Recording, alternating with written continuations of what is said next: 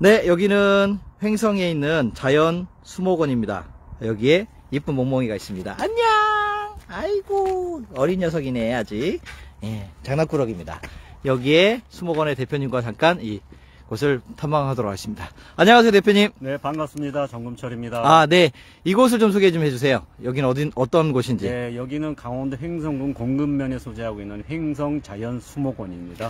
어, 수목원이라고 하면 나무를 키우는 곳을 얘기하는 건지, 나무를 판매하는 곳을 얘기하시는 건지. 맞습니다. 나무를 팔기도 하고 재배도 하고 합니다. 아, 그러면 우선 돌아보면서 한번 네. 소개 좀 부탁드리도록 하겠습니다. 그렇게 하겠습니다. 네. 먼저 왼쪽에 있는 나무들 좀 먼저 어, 좀 대충 소개 좀 부탁드리겠습니다. 네.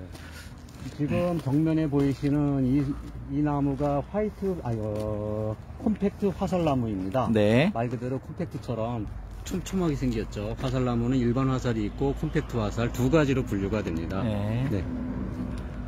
얘네들은 비용은 얼마 정도 할까요? 요거는 그, 시, 50만 원에 판매하고 있습니다. 오, 야, 나무 가격도 꽤 있구나. 네. 어, 이제 풀이 좀 많이 올라오고 있는데요. 얘는 네, 뭘까요? 얘는 화이트 핑크 셀릭스라고 하는 품종인데요. 네. 네, 말 그대로 색상이 세 가지 색상이 들어옵니다. 이제 앞으로 한 일주일에서 2주 정도 되면 그 분홍색이 들어오고 흰색이 들어오고 파란색이 들어와서 삼색 버드 한국말로는 삼색 야, 버들이라고도 합니다. 희한하네요. 어떻게 네. 이렇게 될까요? 이건 외래 품종입니다. 아, 네, 그렇구나.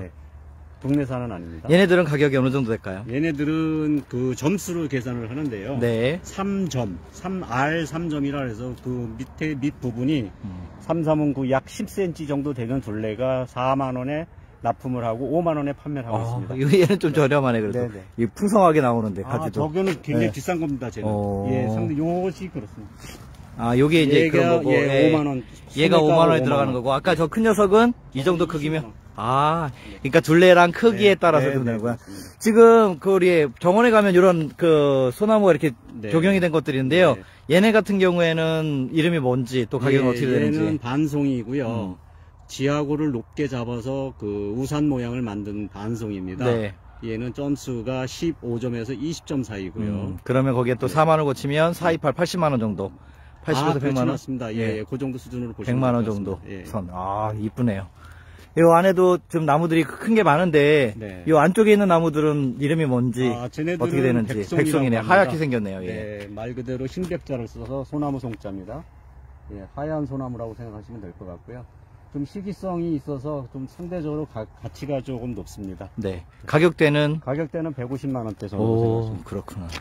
야 나무 하나가 엄청나게 가격 차이가 많이 나는군요. 네. 그 성격들이 나무가 좀 있을 거 자라는 환경이나 땅 같은 게 좀 특성들이 있을 텐데 네. 또 어떤가요? 이게 모든 나 조경수의 공통점은 그 첫 번째 조건이 배수 조건입니다. 네. 예, 어떤 나무가 됐든 배수가 잘 되고 이식을 했을 때 뿌리가 흔들리지 않으면 거의 활착이 된다고 보시면 됩니다. 네. 어 여기 가운데 또 큰 하얀 나무가 있는데 제 이름은 뭔가요? 아, 쟤는 산수유 나무입니다. 아, 산수유. 예, 예, 그래서 수령- 노란 꽃이 지금 피어 있네요. 예, 수령이 한 150여 년 정도 야 됩니다. 엄청 크네. 네. 제 같은 경우에는 또 가격대는 가격대는 얘는 좀 고가입니다. 네. 고가 천만 원대. 천만 원 이상 갑니다. 아, 천만 원대 이상. 네. 네. 여기에도 또 똑같이 큰 나무가 엄청나게 큰 나무가 있어요. 네. 얘가 과지가 그 엄청나게 큰 거였었는데 쟤는 위에는 좀 잘렸네요. 네, 고목인데 살아 있는 거죠? 두목을 한 겁니다. 예. 키를 낮추기 위해서 예. 예, 두목을 해서 키를 낮추고 있습니다. 네. 지금은 이제 완제품이 됐는데요. 네. 저 녀석이 지금 그 둘레가 3m 20cm입니다. 네네. 그래서 점수로 말하자면 100점이 조금 넘죠. 야, 그러면 400만 원이 아니라 400 4천만 원대? 가격은 약 5천만 원 정도. 5천만 원대. 예. 야. 이렇게 돼 있네요. 그리고 지금 우리가 제일 많이 보고 있는 소나무가 있는데 이 소나무 이렇게 만들기가 쉽지가 않더라고요. 네, 얘는 그 예. 일반 소나무가 아니고 네. 황금 소나무라는 것인데요. 노래에서 네, 네네. 그렇습니다. 말 그대로 황금색인데요.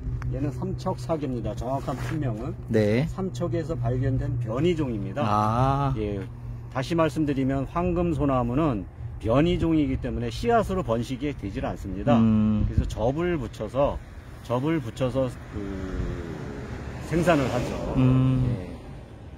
그렇구나. 이 안쪽으로 한번 또 들어가 볼까요? 네. 이 안쪽으로 들어가서. 네.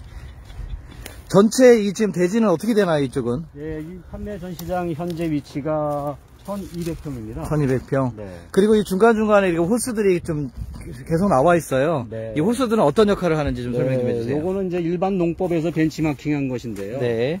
지금 이 호수를 보시면 그 띠를 묶 나무에 띠를 묶어 놨는데 네네. 띠 묶은 부분에 구멍이 4 개가 뚫려져 있습니다. 네. 그래서 물을 지하수를 퍼 올려서 미- 물을 밀어주면 점적 관수라고 해서 말 그대로 점적으로 한 방울 한 방울 떨어지면 저 끈을 따라서 밑으로 쳐- 땅으로 흘러내리게 돼 있습니다 음. 원리가 그렇게 해서 물을 주는 것이죠. 아, 네. 알겠습니다.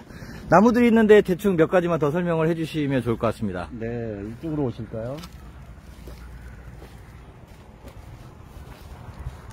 지금 뭐 상품 가치는 없어 보이지만 얘 같은 경우에는 처진 소나무입니다. 오. 예, 일반 소나무가 아니고 얘도 마찬가지로 변이종이고요.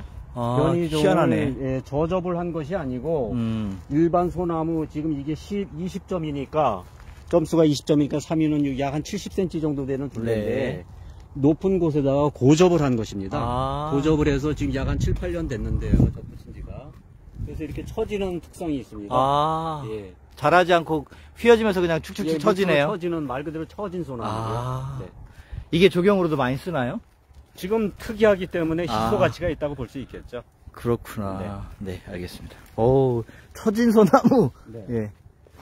얘가 조금 전에 설명드렸던 그 황금소나무 중에 삼척사계라는 것인데 삼척사계의 특성은 직간으로 올라가지를 못하고 옆으로 가는 경향이 있습니다. 네. 그래서 얘는 직간으로 올리면서 S자로 자연미를 이제 느끼 감상하기 위해서 그 S자로 이렇게 틀어서 음. 예, 단을 둔 것이죠. 그래서 제가 아직은 완제품은 안 됐지만 희소 가치는 있습니다. 음.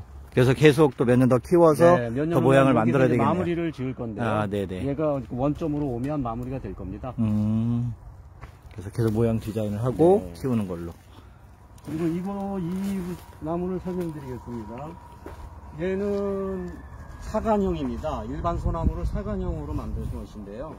그 일반적으로 사용하는 그 뭐랄까요 가브리형이라 그러죠. 가브리형. 그래서 이 가브리형인데 지금 목대가 보시는 것처럼 얘는 2시간 5정 정도 나옵니다. 그러면